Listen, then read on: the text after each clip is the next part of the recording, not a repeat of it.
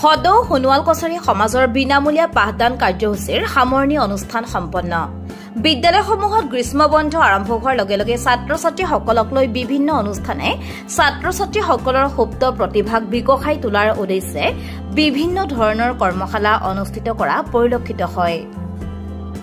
ইয়াৰ সমান্তৰালভাৱে সদৌ সোণোৱাল কছাৰী সমাজৰ উদ্যোগত যোৱা দুই জুলাইৰ পৰা সাতাইছ জুলাই পৰ্যন্ত টেঙাখাত উচ্চ বুনিয়াদী বিদ্যালয়ত দশম শ্ৰেণীৰ ছাত্ৰ ছাত্ৰীসকলৰ বাবে গণিত আৰু ইংৰাজী বিষয়ৰ ওপৰত বিনামূলীয়া পাঠদানৰ ব্যৱস্থা গ্ৰহণ কৰা হয়। ইয়াৰ লগত সংগতি ৰাখি শনিবাৰে সদৌ সোণোৱাল কছাৰী সমাজৰ সভাপতি তথা প্ৰাক্তন ছাত্ৰ নেতা কাৰ্তিক হাজৰিকাৰ সভাপতিত্বত অনুষ্ঠিত সামৰণি অনুষ্ঠানৰ উদ্দেশ্য ব্যাখ্যা কৰে সমাজৰ সাধাৰণ সম্পাদক দীপক শইকীয়াই। অনুষ্ঠানত বিশেষ আমন্ত্ৰিত অতিথি হিচাপে উপস্থিত থাকি ছাত্ৰ ছাত্ৰীসকলক উদ্দেশ্যি বক্তব্য প্ৰদান কৰে ক্ৰমে তৰাজান আদৰ্শ বিদ্যালয়ৰ অধ্যক্ষ ৰাজীৱ কোঁৱৰ দিৰিয়াল আদৰ্শ বিদ্যালয়ৰ অধ্যক্ষ Palashjyoti Sharma B C P এলৰ প্ৰবন্ধক শান্তনু হাজৰিকা পূৰ্বাঞ্চল টাই সাহিত্য সভা ডিব্ৰুগড় জিলাৰ সভাপতি দুৰ্গা বৰগোহাঁই অৱসৰপ্ৰাপ্ত প্ৰধান শিক্ষক চক্ৰেশ্বৰ সোণোৱাল আৰু টেঙাখাত প্ৰেছ ক্লাবৰ সভাপতি দীপক গগৈয়ে। বিগত বৰ্ষৰ বাৰ মাৰ্চ তাৰিখে ডিব্ৰুগড়ত সদৌ সোণোৱাল কছাৰী সমাজৰ প্ৰতিষ্ঠা হয়। এই প্ৰতিষ্ঠা দিনৰে পৰা সদৌ সোণোৱাল কছাৰী সমাজে আমি বিশেষকৈ তিনিটা বিষয়ৰ ওপৰত গুৰুত্ব প্ৰদান কৰি আহিছোঁ। প্ৰথম বিষয়টো হৈছে উঠি অহা প্ৰজন্ম আমাৰ শিক্ষিত হওক তেওঁলোকৰ স্বাস্থ্যৱান হওক আৰু আমাৰ সমাজৰ প্ৰতি ঘৰ ব্যক্তিয়ে অৰ্থনৈতিক দিশত শক্তিশালী হওক তাৰে আমি চিন্তা চৰ্চা কৰিয়েই এইবাৰ আমি টেঙাখাত উচ্চ টেঙাখাত উচ্চ বুনিয়াদী বিদ্যালয়ত বিগত চলিত বৰ্ষৰ চলিত মাহৰ দুই তাৰিখৰ পৰা দশম শ্ৰেণীৰ ছাত্ৰ ছাত্ৰীসকলক বিনামূলীয়া শিক্ষা প্ৰদানৰ ব্যৱস্থা গ্ৰহণ কৰিছিলোঁ।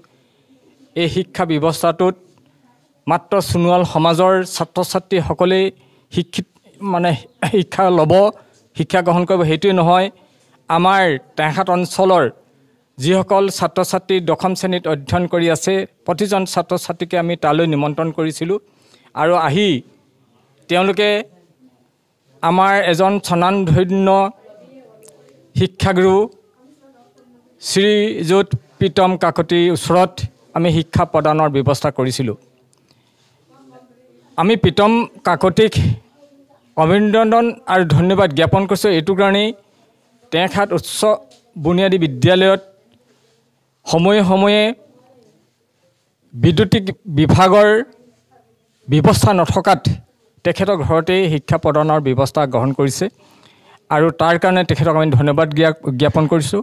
ইয়াৰ লগতেই এই যিসকল ছাত্ৰ ছাত্ৰীয়ে প্ৰীতম কাকতিৰ ওচৰত শিক্ষা গ্ৰহণ কৰিছে প্ৰীতম কাকতিক আমি এটা কথা অনুৰোধ কৰিছোঁ তেওঁ ইংৰাজী আৰু গণিত বিষয়ত যিসকল ছাত্ৰ ছাত্ৰীয়ে শিক্ষা গ্ৰহণ কৰিছে তেওঁলোকক সম্পূৰ্ণৰূপে দুয়োটা বিষয়ত এই কোৰ্চটো ফিনিছ কৰি দিবৰ কাৰণে অনুৰোধ কৰিছোঁ। ইতিমধ্যে আমাৰ প্ৰায় চল্লিছজন ছাত্ৰ ছাত্ৰীয়ে অংশগ্ৰহণ কৰিছে আৰু তেওঁলোকৰ সুদূৰ বৰবাম হাতীমন্ধাৰ পৰা আৰম্ভ কৰি টিঙে বৰহোলা আমাৰ মাজুলী পৰ্যন্ত তেওঁলোক ইয়ালৈ আহিছিল। গতিকে সকলোকে মই ছাত্ৰ ছাত্ৰীসকলক ধন্যবাদ জ্ঞাপন কৰিছোঁ। প্ৰায় অৰ্ধ শতাধিক ছাত্ৰ ছাত্ৰীয়ে অংশগ্ৰহণ কৰা এই বিশেষ পাঠদান কাৰ্যসূচীত দুয়োটা বিষয়ত সুন্দৰভাৱে পাঠদান কৰে শিক্ষক প্ৰীতম কাকতিয়ে।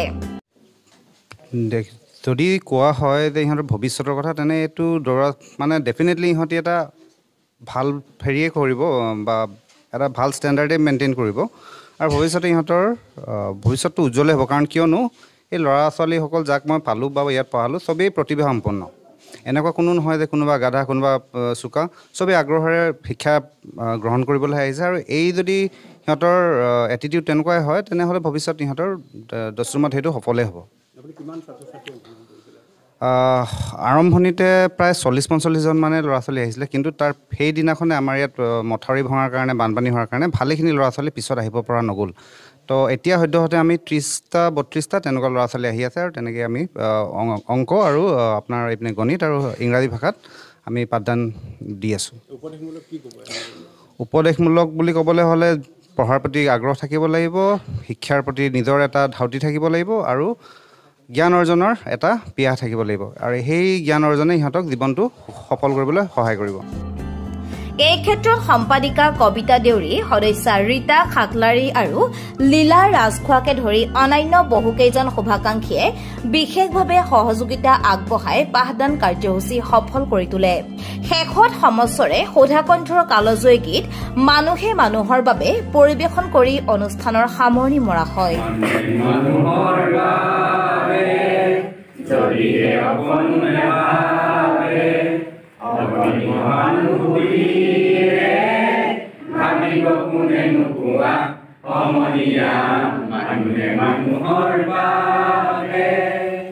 মানুহে মানুহক বেচিব খুজি মানুহে মানুহক কিনিব খুজি মানুহে মানুহক বেচিব খুজি মানুহে মানুহক কিনিব খুজি পুৰণি দোহাৰিলে ভুল জানো নহ'ব কোৱা সমনীয়া মানুহে মানুহৰ বাবে যদিহে অকণো নেবাবে অগণি সহানুভূতিয়ে ভাবিব কোনে নোপোৱা সমনীয়া মানুহে মানুহৰ বাবে news desk report Tengakhat live